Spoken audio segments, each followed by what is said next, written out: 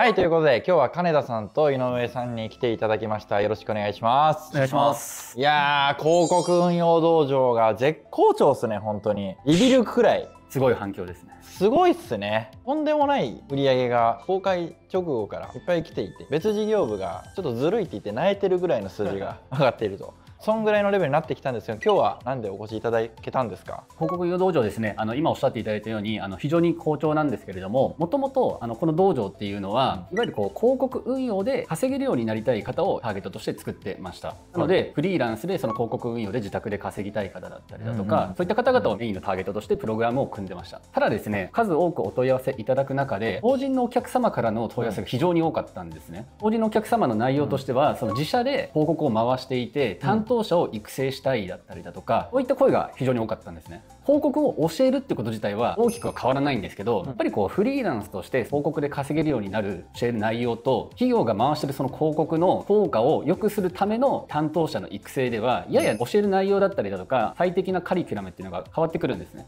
はい、ですので今回は数多くお問い合わせいただいた法人向けの方々のご要望を踏まえてインハウスマーケターの育成プランというものを新たに作りましてこちらのご説明をさせていただければと思ってます。なるほど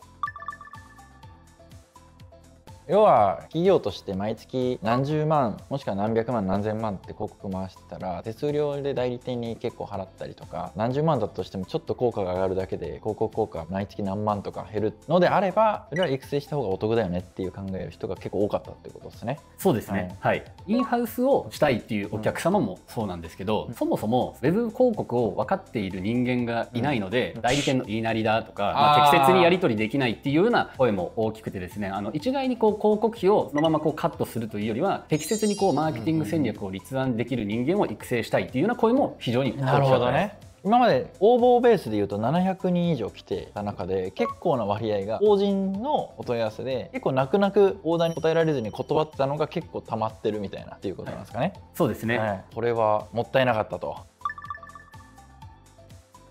変わるんですか？そのフリーランス向けなのか法人向けなのかで内容というかカリキュラムは。カリキュラムまた僕の方で作らせてもらったんですけど、はい、鬼軍曹。鬼教官。はい。の顔して作りましたけど、はい、結論もともと 2C というか個人の方向けのプランっていうのは割と型にはまったというか固定のカリキュラムでカスタマイズも一部できたりとか講師に質問できたりはするんですけど結構あの同じようなテーマで皆さんにお届けしているという感じなんですけど今回法人向けプランに関してはすでに自社で運用してる案件があるとか自社で広告配信してるサービスがあるみたいな形なので、うん、自社の案件に沿った形で育成をするというような形になってます。この案件の運用どうしたらいいんだとか、うん、そういったところを相談いただいて、この案件を運用するためにはこういうカリキュラムいいですねみたいな形で、オーダーメイド式でお届けできるみたいなところが一番の違いかなと思います。最初にキックオフみたいな形でミーティングさせていただいて、そこでどういう課題があるのかとか、どういうふうに育ってほしいのかっていうのを聞かせていただいて、それに合ったカリキュラムはこうですよみたいなのを提示させていただくようななるほどなるほど。例えばどういう分岐があるんですか？それって。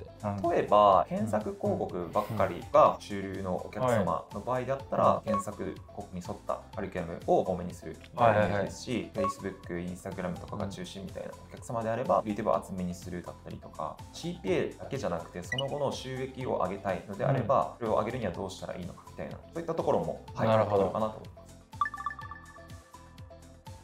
それってもちろんお二方はサイバーエージェントでもう最前線でやっていたお二方なので運用レベルに関してはトップクラスだと思うんですけどこれを受けた人はどのぐらいのレベルになるイメージなんですか？そこに関して言うと期間が今回3か月ですし、うん、講師だったりコーチング担当の手がみっちりついて、はい、まあ、オーダーメイドのカリキュラムをお届けできるので、うん、いわゆる広告代理店でもう実力者というか、うん、それなりに運用が得意な人だよね、みたいなところまでを目指したいなとなるほどなるほど。もちろん元のレベルにもよるとは思うんですけども、はい、広告代理店何年もやってましたみたいな人と同じ水準で育成を頑張りますみたいなことですね、ね、自社の社員がそうなったらめちゃくちゃ心強いって思う経営者も相当多いと思いますし。なるほど、はい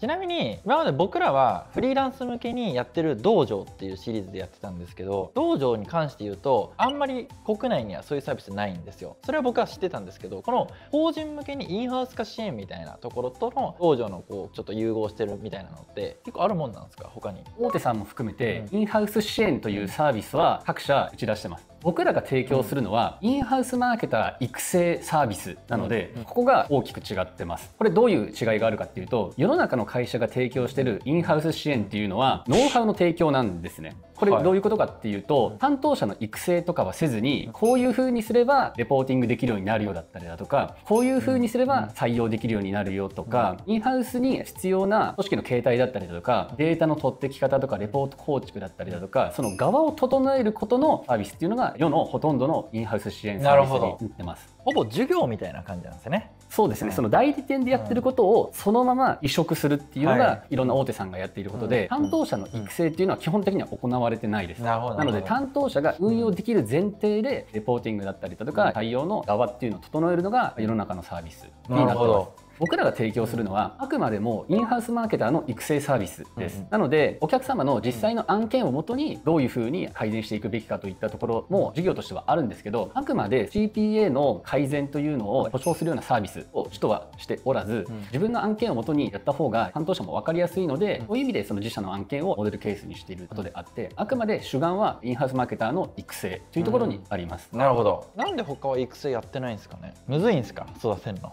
まあ、育てるのは正直かなり難しいですしうん。基本的に広告代理ビジネスと相反するビジネスではあるんですよね、やりづらいとは思います正直。それだったら離れるでしょっていう話ではあるあーそうのでなのでまあいろんな意味合いがあって提供されてないんだろうなとは思ってます。じゃあこのサービスが日本全国に導入されたら世の中のネット広告の代理店は全滅するっていうことでよろしいですか？まあそうですね、まあ、はい正しくこう受けて育てば代理店の売り上げが減ることにはなるとは思うので、僕らはまあそれを目標にはやります。しなるほど。僕らは僕らでまあ代理店ビジネスやってますけどその上を行くようにやるだけなので、はいはい、両方全力尽くしてやれば、まあ、最終的には大きく返ってくるだろうっていう考えでやってます。やればやるほど俺らの凄さ分かるでしょっていう部分もあると思いますしね。そうですね、はい。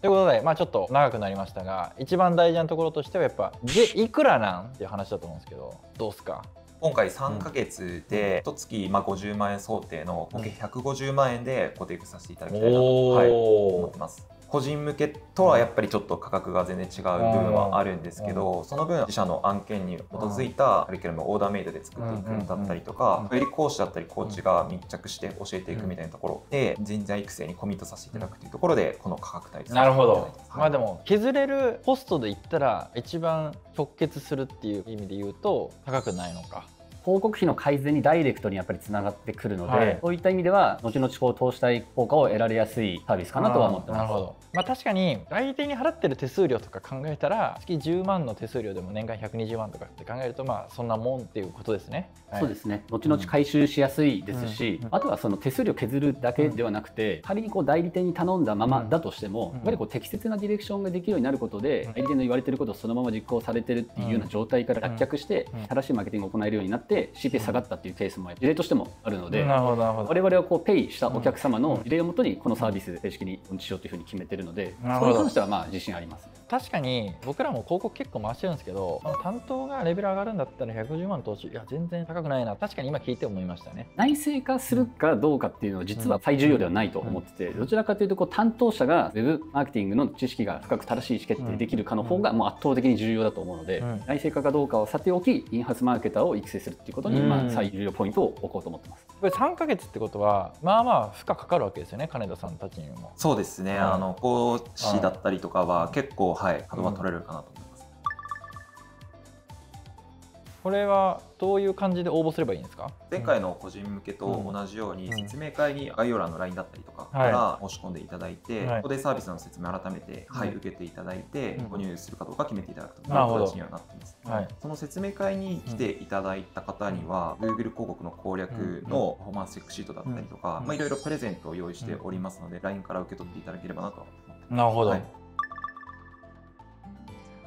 改めて最後どんな人向けなのかっていうのだけ最後もう一回お願いします。今回のこのサービスに関してはインハウスマーケター育成プランになりますので、自社で広告を回している法人様向けのサービスになります、ですので自社でたくさん広告費を使って広告を打たれてる経営者だったりマーケティング責任者利用責任者、えーそういった方々に LINE の方を登録していただいてご説明受けていただければなと思っております。では概要欄からお待ちしております。ありがとうございました。ありがとうございました